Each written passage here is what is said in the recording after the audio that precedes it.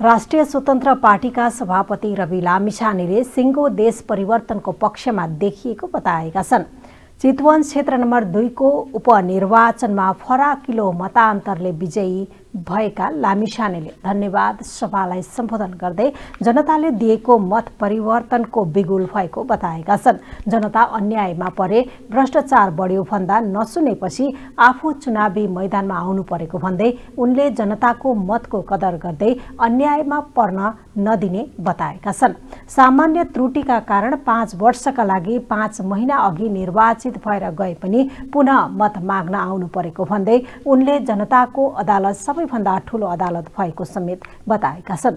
विकास निर्माणमा आफूले कसैलाई काखा र कसैलाई पाखा नगर्ने बताउँदै संसदमा रहँदा देशको सुशासन गरिबी अशिक्षा भ्रष्टाचार अन्त्यका लागि काम गर्ने बताएका छन्। फेरि तपाईँ कहाँ पठाइयो। हाम्रो पार्टी फेरि घन्टी बजाउन चितवन झऱ्यो। अनि यसपटक फेरि चितवनवासी आमाबा दाजुभाइ दिदीबहिनीहरूले कानको जाली फुट्ने गरी घन्टी बजाइदिएका छन्। घन्टीको यो आवाज एउटा उपनिर्वाचन मात्र होइन।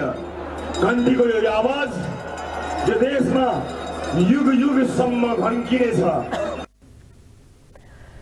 सुरुवातीको वर्ष विकासका योजना निर्माणमा लाग्ने र अन्य वर्षमा देखिने गरी विकासका कार्यक्रम सञ्चालन गर्ने उनको भनाइ थियो। उनले प्रतिस्पर्धी उम्मेद्वार र उनका मतदातालाई समेत आभार व्यक्त गरेका छन्।